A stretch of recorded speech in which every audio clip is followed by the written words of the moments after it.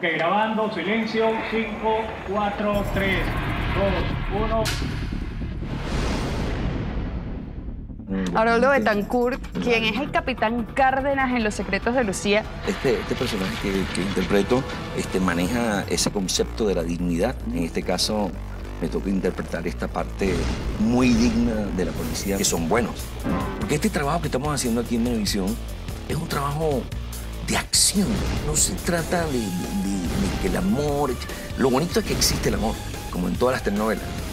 Pero hay un despliegue técnico detrás de esto que es sumamente importante para que esto tenga cabida y tenga, tenga ese, esa explosión que todos queremos que tenga en, el mundo internacional nuestra novela.